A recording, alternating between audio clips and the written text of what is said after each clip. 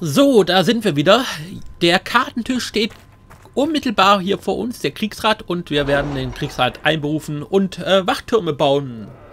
Ole. Unser erster Akt als Herold von Einsätze. Du hast jetzt genug, äh, du hast jetzt Zugang zu Missionen. Missionsbezogene Einsätze erfordern Zeit und bringen den Inquisitionen Ressourcen und Belohnungen ein. Pro Berater kann immer nur ein missionsbezogener Einsatz aktiv sein. Also wir haben drei Berater, das heißt drei. Also, ja, logisch, gell? Äh, äh, einige Missionen sind als bevorzugt gekennzeichnet, was bedeutet, dass sie weniger Zeit erfordern, wenn sie von dem entsprechenden Berater durchgeführt werden. Missionen können außerdem je nach Berater unterschiedliche Belohnungen mit sich bringen. Ah, also ob wir diplomatisch vorgehen oder aggressiv oder... Okay. Truppen. Ein Soldat... in der Hauptstadt Interesse. Und das freut euch nicht?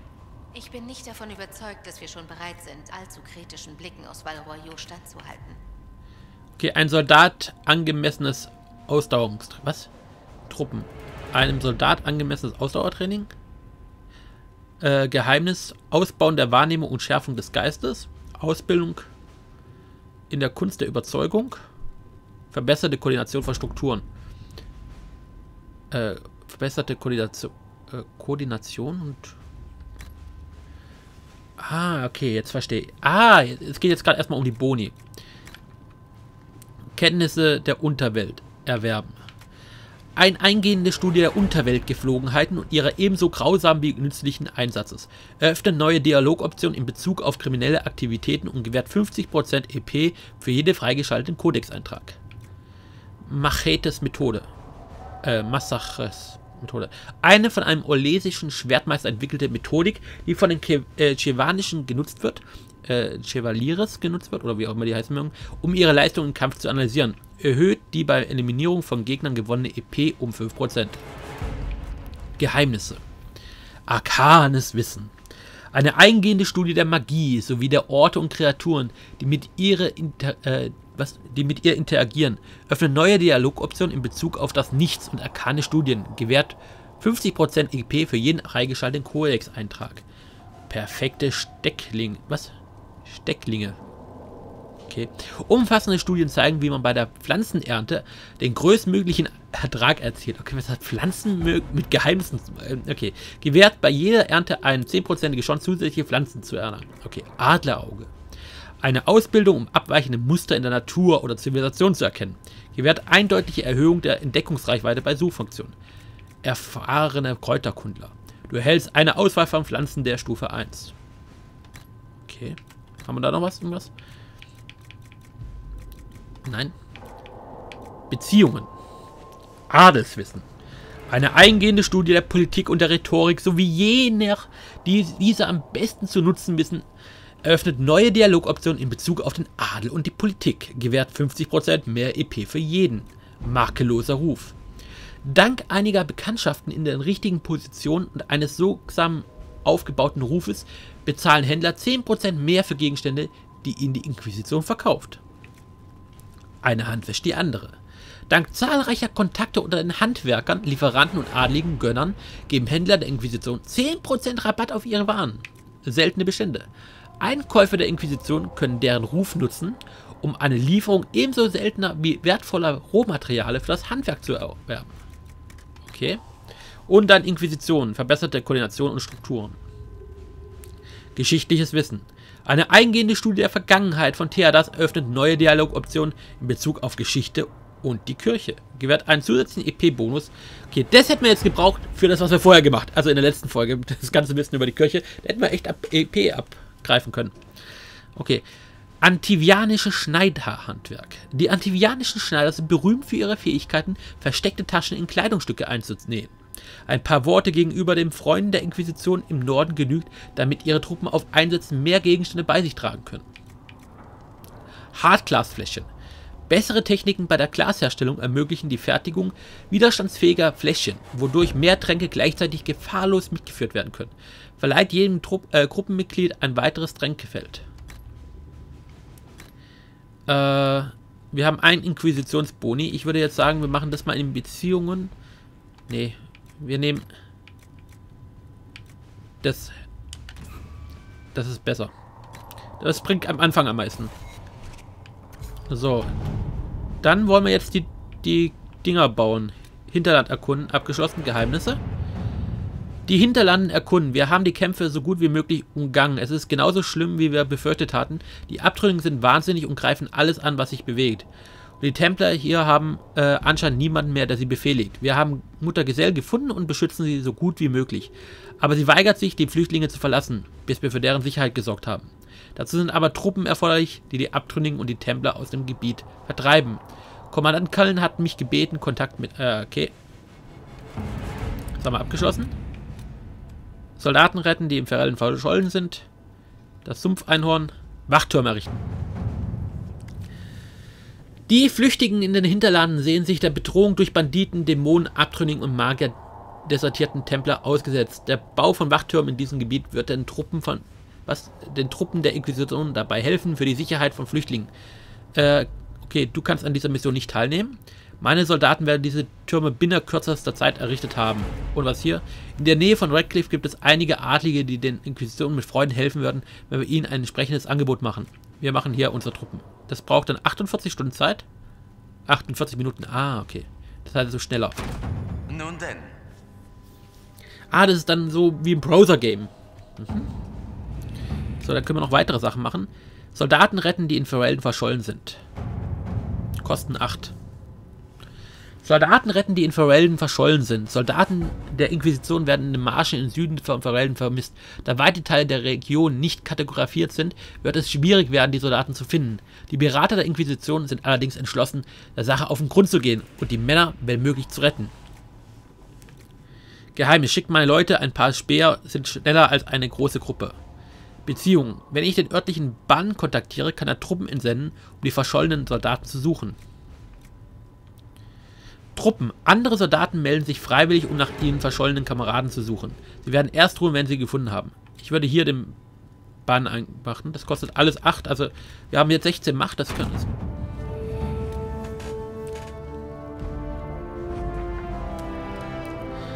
Soldaten retten, die in Ferelden verschollen sind. Die verschollenen Soldaten wurden in einem Moor namens Fallbruch gefunden. Sie werden dort von Ava als, Geist gehalten, äh, als Geiseln gehalten, die im Tausch für das Leben der Gefangenen eine Unterredung mit den Herald Andrastes fordert. Neues Gebiet freigeschalten. Okay, Bericht annehmen. Hm, jetzt nicht. Gut, dann haben wir ein neues Gebiet. Das Sumpfeinhorn. Das Sumpfeinhorn. Wir haben ein Hilfsangebot erhalten. Ich bin entnervt, aber nicht dagegen. Es ist nicht das erste seltsame Versprechen, das wir bekommen. Es wird auch nicht das letzte sein. Äh, es folgt eine, äh, eine elegante Notiz. Die Inquisition braucht etwas, das wir ihr geben können. Wir haben ein Reittier von edlem Wesen in unserem Besitz, das in der Schlacht gegen Zorn gefallen ist. Gegen Zorn gefallen? Was? Das in der Schlacht gegen Zorn gefallen. Ach, äh, das, es gab eine Schlacht, die heißt Zorn. Okay. gefallen ist und vom grenzenlosen Verlangen einer würdigen Sache und einem edlen Meister zu dienen. Ins Leben zurückgekehrt. Hä? Wir haben ein Reittier von edlem Wesen in unserem Besitz, das in der Schlacht gegen Zorn gefallen ist und vom grenzenlosen Verlangen ein würdige, eine würdigen, einer würdigen Sache und einem edlen Meister zu dienen, ins Leben zurückgekehrt ist. So, jetzt zurück. Beweist, dass eure Anhänger längst glauben, Beweis, was eure Anhänger längst glauben, dass euer Einfluss weit über diesen Welt hinausreicht. Dass selbst die Mächte des Nichts eure Verbündeten sind. Dass der Tod den Sieg nicht verhindern kann. Die Gemeinschaft. Ich werde unauffällig dafür sorgen, dass niemand die Ankunft stört. Wir gehen überaus sorgsam mit so einem Geschenk um. Dafür sorgt schon unser Partner. Yeah, Achievement. Ich glaube, das Sumpfeinhorn kriegen wir für. Äh, das war eines meiner ähm, ja, Pre-Order, Boni oder digitalen Collectors Editions Dingensbums. Die Kreatur ist eingetroffen. Sie ist tatsächlich so verstörend wie erwartet. Bericht annehmen.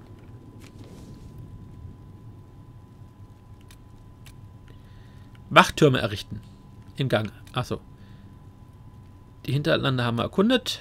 Geld beschaffen. Bisher profitieren die Truppen der Inquisition von sehr gut gefüllten Schwa äh, von der sehr gut gefüllten ich kann echt nicht mehr lesen. Äh, vor allem ist es ein bisschen weit weg hier auf dem Bildschirm.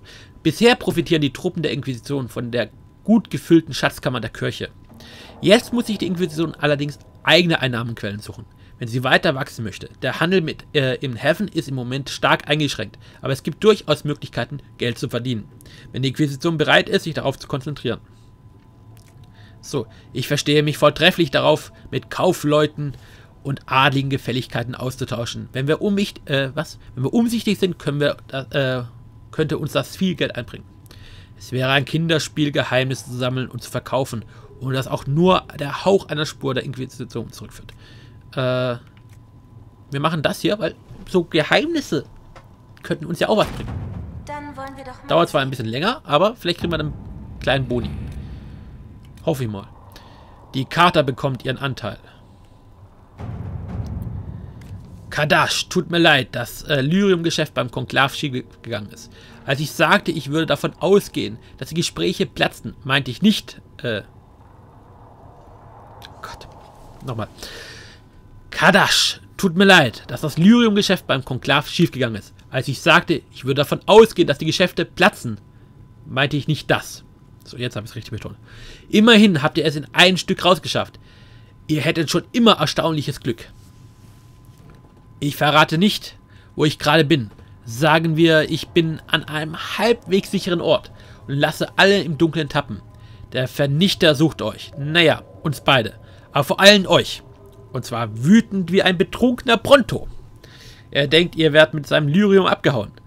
Solro... Was? Solraka. Solroka und dass ihr euch hinter einem Wall von Inquisitionssoldaten vor der Karte versteckt. Ich wäre an eurer Stelle vorsichtig. Lantos. Okay, die beiden können nicht mehr. Wir können nicht offen mit der Karte verhandeln, aber vielleicht bringen wir Osmas Botschafter dazu, es für uns zu tun. So. Gut, damit haben wir jetzt mal die losgeschickt. Und wir gehen wieder zurück äh, hier ins Hinterland mit der Schnellreisefunktion. Gruppen sammeln und folgenden Ort reisen, hinterlade. Ja. Ja, nehmen dich mit, dich mit, dich mit. Und bestätigen.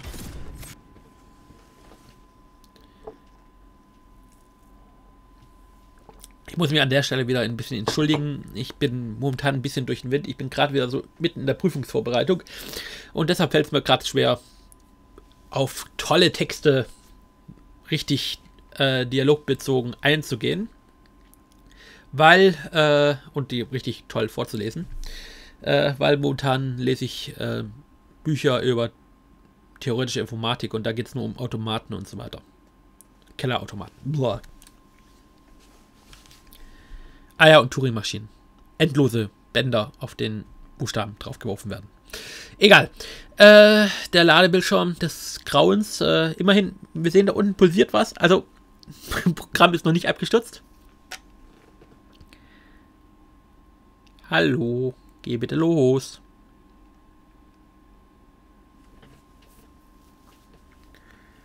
Ich hoffe, die Ladezeiten gehen nachher auch in die Berechnung der Bauzeiten und so weiter rein, weil so nach einer halben Ladezeit könnte dann schon das meiste fertig sein. So, Questkarte. Und, äh,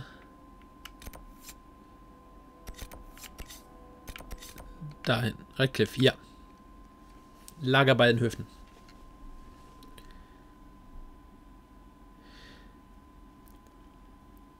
Zumindest haben wir jetzt ein bisschen was gelernt, wie der Kartentisch funktioniert. Das ist ja auch ein ganz tolles Element. Wir haben unseren ersten Boni. Das heißt, jetzt müssten wir ganz kurz, wenn ich jetzt hier reingucke, 8. Sorry, ihr müsst euch nicht erschrecken. Ich wollte jetzt nur eigentlich hier zu dem Tisch Tränke auffüllen. Noch keine Tränke verfügbar. Noch keine Tränke verfügbar. Ich dachte, ich hätte jetzt einen neuen Slot gekriegt dafür. Okay, anscheinend habe ich zwar einen neuen Slot freigeschaltet, aber noch kein, äh, keine Getränke dafür. So, dann würde ich mal sagen, machen wir jetzt hier schnell noch die beiden Risse. Oh, da ist noch eine Quest. Lesen. Eine Bitte von Herzen. Mein preisgekrönter Bison namens Druffi wird vermisst. Ja, Bison, keine Ahnung, wahrscheinlich so ein Ochse. Er ist bei dem Dämonenangriff weggelaufen und wurde zuletzt in der Schlucht gesehen. Wer ihn findet und auf mein Gehöft zurückbringt, erhält eine Belohnung. Eine Mitteilung, aus einem, äh, eine Mitteilung auf einer Anschlagetafel. Eine einfache Karte zeigt, wo sich der Bison ungefähr aufhält, wohin er zurückgebracht werden soll. Okay. Aber wir machen jetzt erstmal einen Riss da hinten. Habe ich jetzt eigentlich das neue Schlachtpferd? Nee. Das muss ich auch noch mal gucken, wie ich die Pferde dann später austausche. Also zumindest habe ich jetzt ein... Ich habe ein edles Schlachtross. Äh, weiß noch nicht, wie ich es benutze. okay. Hat sich jetzt gelohnt. Ähm, absteigen. Attacke! Bleibst du hier? Da. Kopfschmerzen. Immer drauf. Boom. Und Chaka. Und... Ja. Lebt er noch? Jetzt ist er hinüber. Ist noch einer da? Da hinten ist noch einer. Okay, dann schließen wir mal den Rift. Nee, kann ich noch nicht schließen. Ah, kommt die Kavallerie. Achso, ich sehe. Ah! Ja, wer genau hinschaut, ist klar im Vorteil. Da oben ist ja die Anzeige. Das heißt nicht nur, dass es ein Riss ist, sondern auch die Lebenspunkte vom Riss.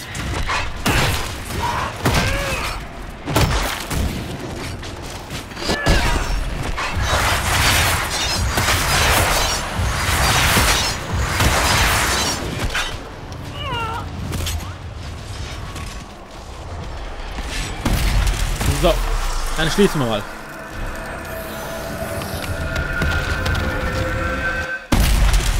Tada! So, uh, da ist noch ein Aussichtspunkt. Das gehört gleich mir. Komm. Meins! Tydras Liebste.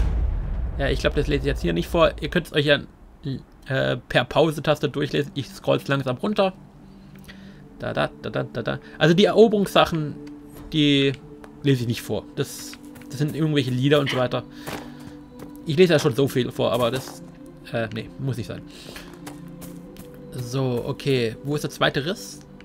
Ist das der zweite Riss? Schließt den Einsatzwachtürme auf dem am Kartentisch ab. Habe ich gemacht. Jetzt muss ich nur warten, bis die gebaut sind.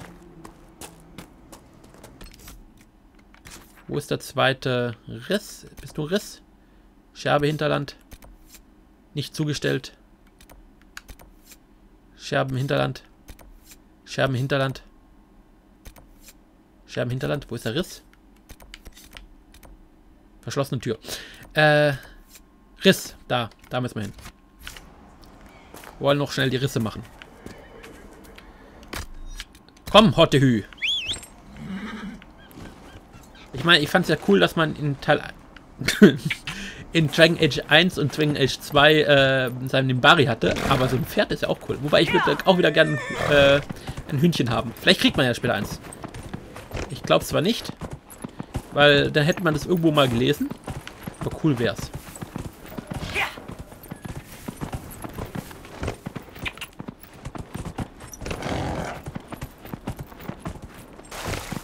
Vielleicht kommt es ja irgendwie als DLC mal.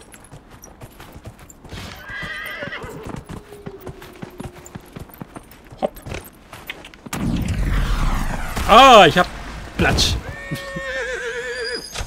ich glaube, das hat mein Pferdchen wehgetan. Uh. Ah, was bist denn du für einer?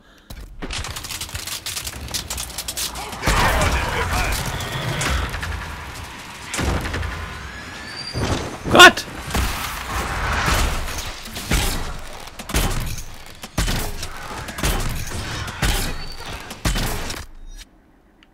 Äh. Ja, ich glaube, der ist etwas...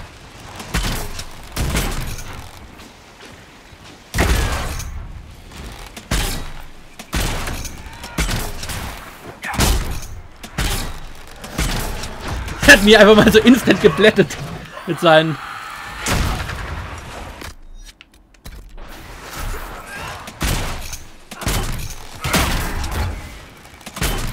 mit seinem Eisstrahl. Und das mit äh, als Zwerg, wo ich ja 25% Re Resist kriege.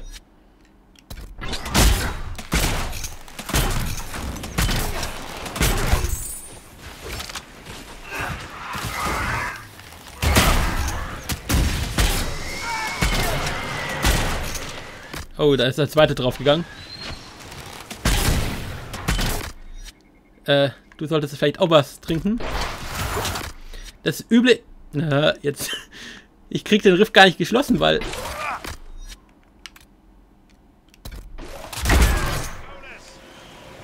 Haben wir ihn getötet?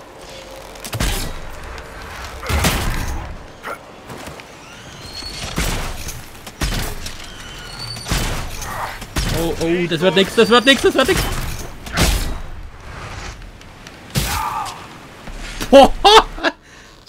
Was auch immer. Spiel fortsetzen. Ah, ja. Also das Spiel kann an manchen Stellen doch etwas schwerer werden. Mhm.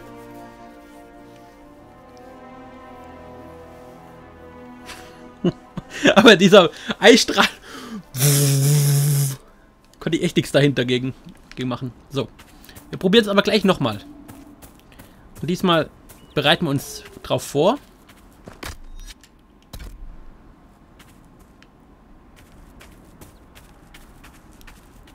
Wir laufen diesmal dahin.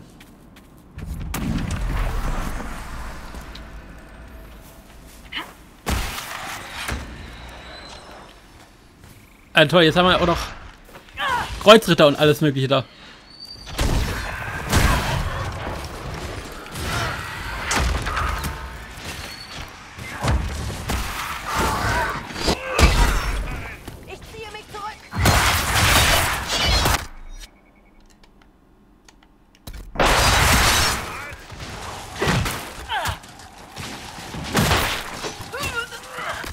Nee, das wird nix.